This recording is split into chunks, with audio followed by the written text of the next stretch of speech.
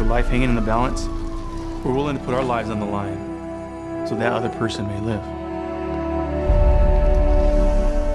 My dad and I were actually really close. I was definitely a daddy's girl. I felt like we were always having these adventures out in the wild. They say your life can be turned upside down in a blink of an eye.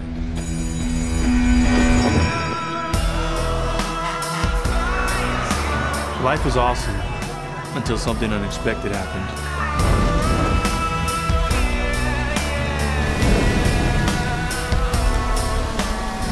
All of a sudden, out of absolutely nowhere, I just got this crazy feeling. I didn't know exactly what had happened, but I knew that it was my dad. And I just shook my head and I said, no, no. An unexpected tragedy comes. A romance breaks up. A terrible injustice is done. And you feel so alienated and so lost. But you can start life all over again with a clean slate.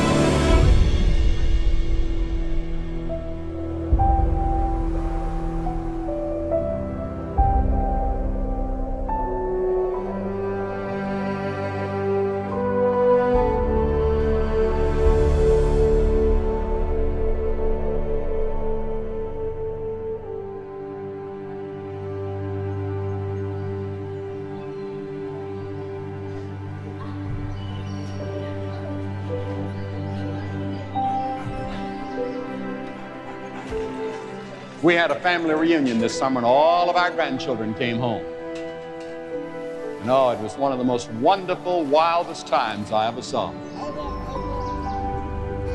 And when I'd get tired, I'd say, Oh, I've got to go back and study a few minutes. And I'd go back and lie down a few minutes and then come out for some more. But you know, I love those children. It was great.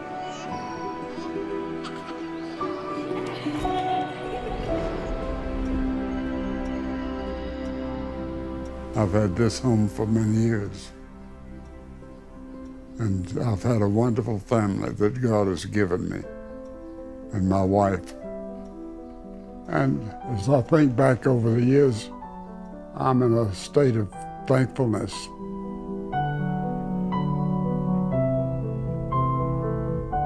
Now, God wants you to live.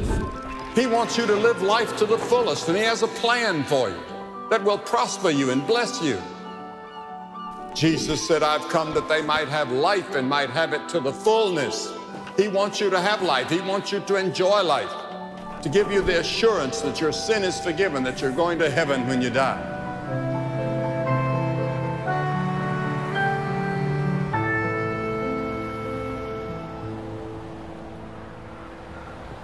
Facing death, things become a lot clearer. I was on top of the world. I had everything going for me. I had just been promoted to drive the hook and ladder truck. Felt like I was Superman. It was July 24th, 2007, a day that changed my life forever. Units responding to the structure fire report single story commercial fire through the roof. My job as a driver of the hook and ladder truck is to get on the roof and ventilate it. Open it up with a chainsaw so that the companies coming inside, a fire can actually make their way there without all the smoke and heat upon them. We arrived on scene. I put our aerial to the roof, brought my chainsaw in hand. When I got on top of the roof, I saw fire out of the rear of the building coming out of the skylight. And I stepped over a division wall.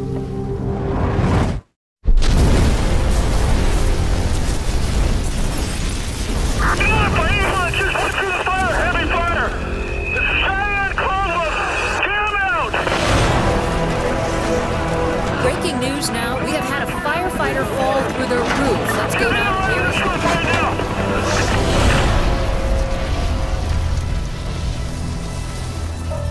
I woke up on the ground.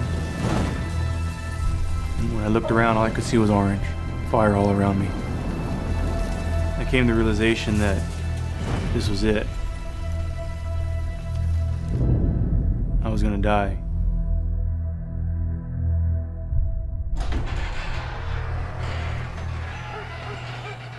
In life, there are things that you will never anticipate. things that completely ruin the plan that you have for your life, things that you never, ever imagine. My dad was a very big outdoorsman. We were always camping and fishing and hunting and you name it. If it's outside, we were always out doing it. When I was in college, I really didn't see my dad that often. So we decided to actually go down to Lake Powell. We just spent the entire week um, houseboating and water skiing and wakeboarding, and we just had such an amazing time. A week after that trip ended, out of absolutely nowhere, I just got this crazy feeling. Basically, I just wanted to go home and I didn't know why. So we went, we get out of the car. It was my aunt. And um, just the, the look in her eyes, and it was just such a deep sorrow. And I just shook my head and I said, no, no, no. My dad had been murdered.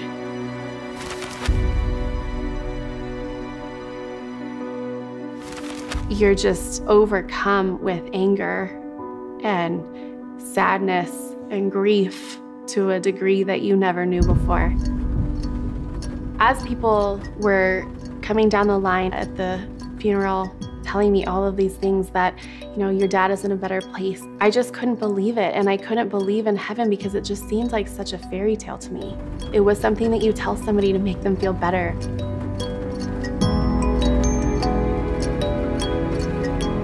Now, we want to soften the reality of death.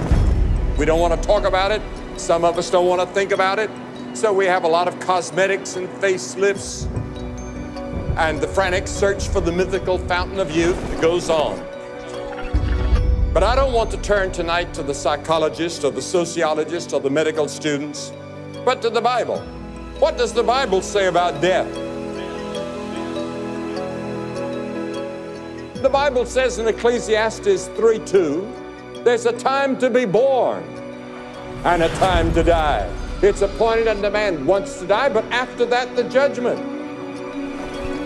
Death ushers in so much uncertainty, and we ask ourselves, why, why, why?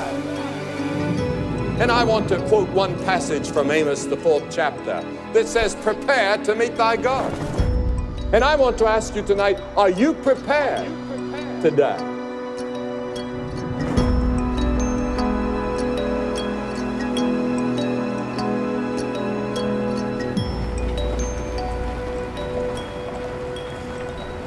When my dad died, it really did change death in my eyes because people were telling me that he's in a better place, but I couldn't believe that.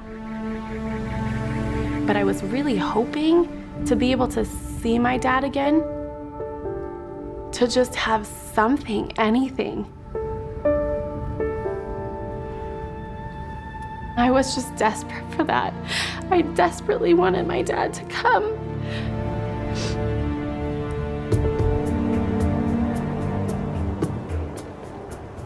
When I thought about the man who murdered my dad, I, I honestly hated him. And when I saw his picture in the newspaper with any of the newspaper coverage, I literally shuddered. He was kind of like the villain in my mind. He wasn't even really human. And I never thought that I'd be able to forgive him. It had been about nine years since my dad's murder. And I think it all just kind of came to a head and I kind of just fell apart. I became very depressed and I fell into a, a pretty deep, dark hole. My greatest fear at that time was that there was gonna be something wrong with me and I would die and I would leave my children. I had some family members come up to me and say, Lori, I think it's time to try some medication. And I remember just crying and saying, Is it that obvious that I'm really not doing well?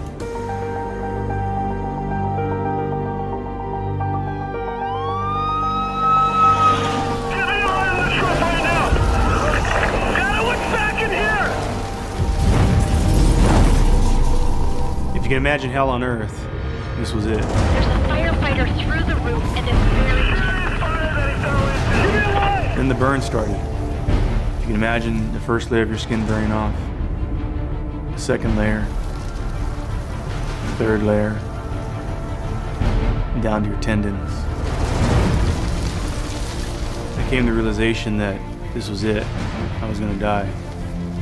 And all I could see was my life flash before my eyes, like a DVD on rewind.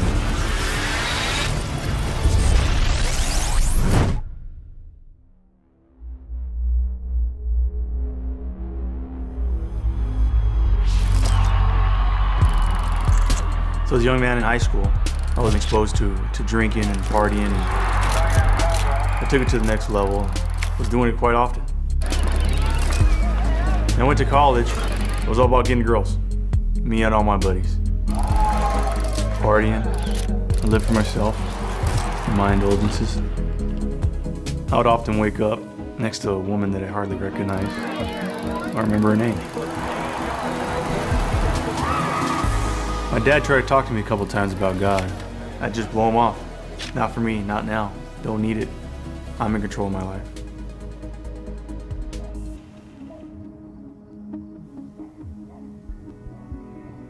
Scripture says that all have sinned and come short of the glory of God. We're all sinners. And if we're sinners, then we are doomed. By that I mean Jesus used the word hell, and that's the future of all of us if we don't put our trust in Jesus Christ. People do not want to be warned of judgment in hell. A lady said some time ago, I hate the very thought of hell. So do I. And I also hate the sin that sends them there. I hate war. I hate the fact that people are starving in the world. But my hating it does not change the facts. Is it right for me to warn you tonight what Jesus taught and what the Bible teaches from cover to cover?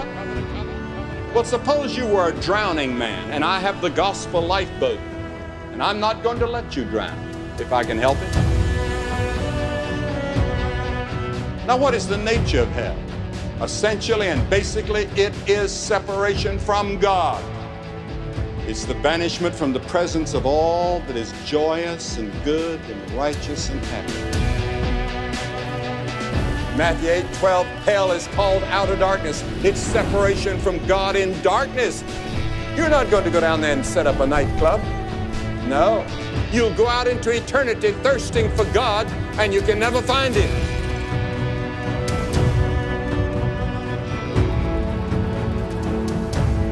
and you can never find the fulfillment that you missed in this life. What is your choice?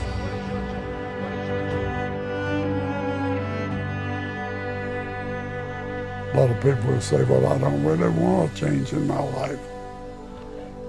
Well, the scripture teaches without that change that God demands, we'll never get to heaven. Like me, I was a member of a church, but I hadn't really come to Christ. From the very beginning, I was reared in a Christian atmosphere. My father and mother both were Christians. By the time I was a teenager, there came an evangelist to our town, Mordecai Ham. I remember I got under such conviction. And one night, they gave the invitation to receive Christ, and I reluctantly went. But I really meant business with the Lord. I came just as I was, with all my sins, all my failures, and the Lord received me and changed me. That has transformed me till this day. I've never been the same. Jesus is the only way of life, eternal life that He gives to every one of us that have put our faith in Him.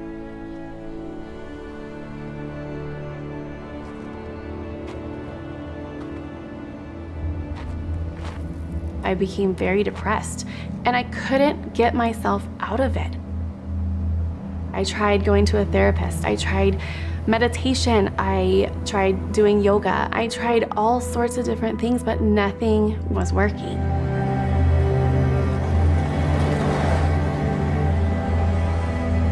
My last resort was to call my girlfriend, Sarah, and I called her up and I said, Sarah, can you tell me a little bit about your church?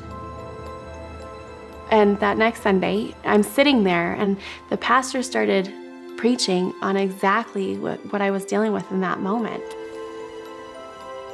I started going to a women's Bible study. I started pouring myself into it. I started reading scripture. And at one point, even though I, I still had some doubts, I was just like, what do I know to be true? Like deep down in my heart. And it was truly that Jesus is the Son of God. I gave my life to Christ and I said, Yes, I do believe that Jesus is who he says he is. God was showing me step by step by step who I am and, and who God is. I started to see my own depravity. I started to see the depths of the sin within myself. And that is why Jesus had to die, because ultimately sin is, is what separates us from, from God, and Jesus had to come so that we can be forgiven.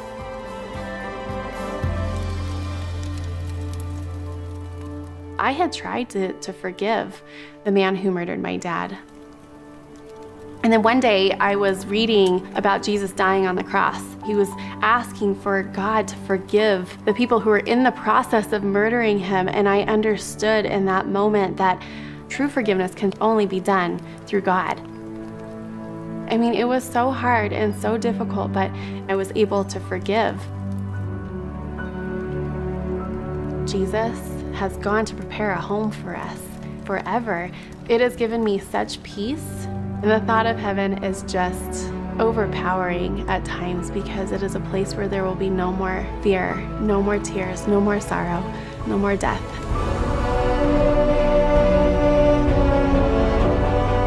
The Bible talks about heaven as a holy city, a perfect environment in which a perfect society dwells. Heaven will be a place in which its inhabitants will be freed from the fears and insecurities that plague and haunt us in the present life. And the scripture says, And God shall wipe away all tears from their eyes, and there will be no more death, neither sorrow nor crying, neither shall there be any more pain, for the former things are all passed away, and we enter a new world. I'm looking forward to that glorious day of going to heaven. Are you ready? Are you The scripture says that God's desire is that all men should be saved. He wants it so much that He gave His Son to die on the cross for you. Now, when Jesus Christ died on the cross, that was a judgment. God judged Christ in your place. And Jesus, being who He was, had the capacity to endure hell for you. He did it for you because He loves you. Now God says you must repent of your sins and receive Him into your heart. Repentance is changing, changing your mind toward God and toward yourself, seeing yourself a sinner and seeing the holiness and the righteousness of God, looking at the cross of Christ and seeing that He died for you. And then the second thing you must do is to believe. That word believe means more than just believing with your mind, it means committing yourself, your total self to Christ as Savior and Lord. And then the third thing, you must be willing to follow Him and serve Him. Are you willing to do that? Are you ready? Yes, you have to make a choice. You have to make a choice between some things that are wrong in your life, and you have to make a choice with Christ. Which will it be?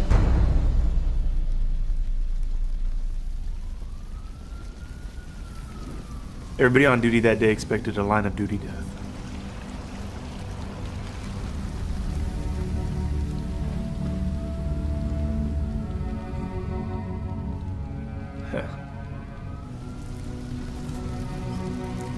Have thought of your own casket. It was real. Death was real.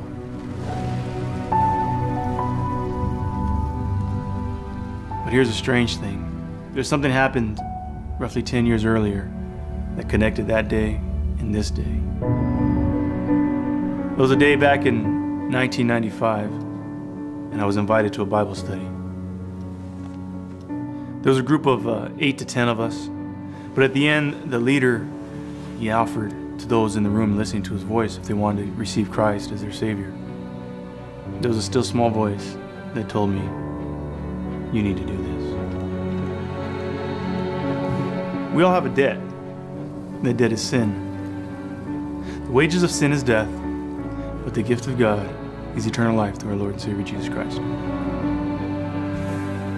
And it was that day, August 15th, 1995, is when I accepted the Lord into my heart as my Lord and Savior. And from that day forward, everything changed.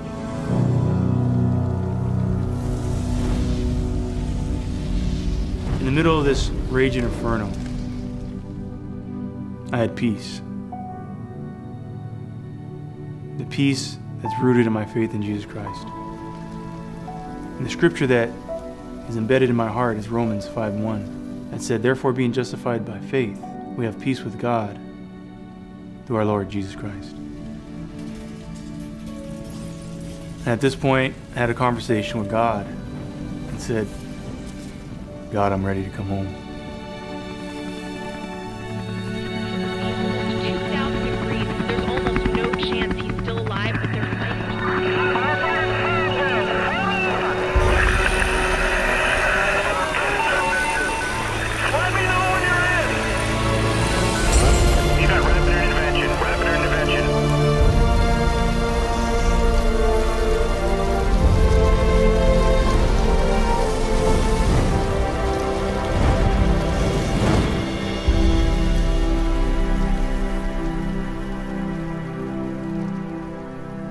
Woke up eight days later in the burn unit, unable to walk. Began my intensive recovery of over a year. It was tough, but I learned a lot.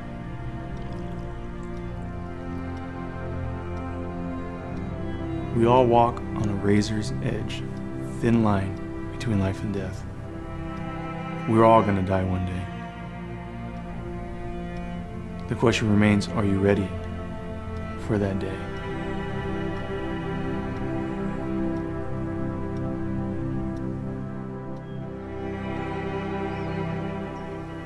Found during the latter years of my life, when I've had sicknesses and been in the hospital and so forth, there's a peace that just resides there and stays there that I cannot explain.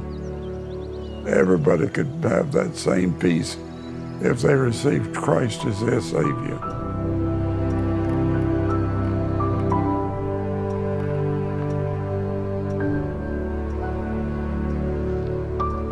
I know I'm going to heaven. I'm looking forward to it with great anticipation because of what Jesus did on that cross.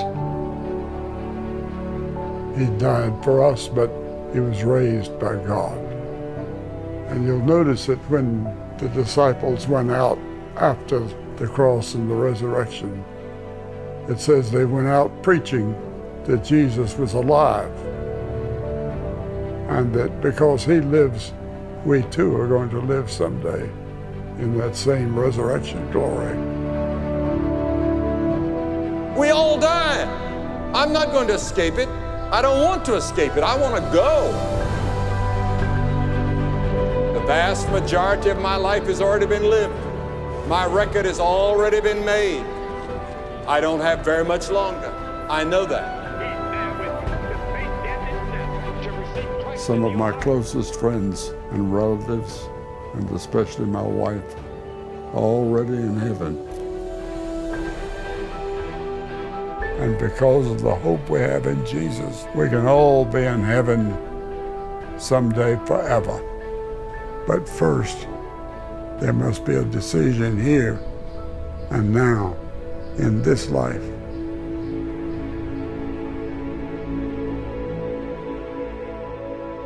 A radical change must take place before you can get into heaven, before you can be accepted by God. You say, Well, what do I have to do? You must repent of sin. You repent and you believe. Believe in Christ and you receive Him in your heart and say, Lord Jesus, come in, and He'll come in.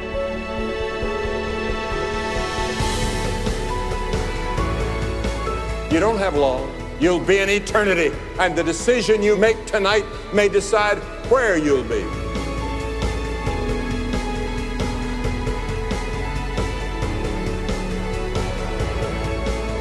Do you know Christ? Are you ready?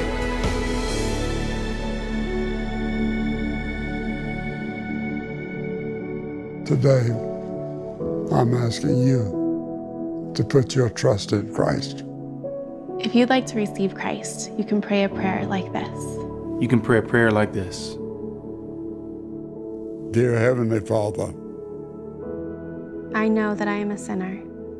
and I ask for your forgiveness. I believe Jesus died for my sins. and rose from the dead.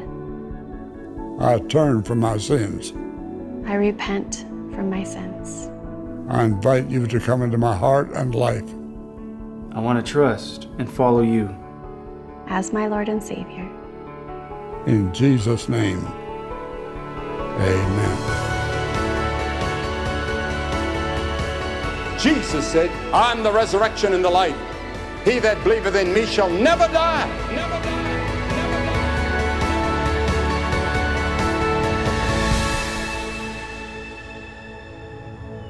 Hi, I'm Franklin Graham, and I'm sitting by the gravesite of my mother, Ruth Bell Graham, here at the Billy Graham Library. My father is over 95, and even though my mother passed away a few years ago, he still misses her and he longs to be with her. He knows that my mother's not in this grave. She is alive and she's in heaven in the presence of Almighty God, where He'll be one day soon. You too can have that same assurance of one day being in the presence of Almighty God. You see, the Bible says, For God so loved the world that He gave His only begotten Son, that whosoever believeth in Him should not perish, but should have everlasting life. If you prayed that prayer to receive Jesus Christ as your Lord and Savior, we'd like to give you some resources that will help you grow in your new faith. Just go to the website on the screen and remember this God loves you and God bless you.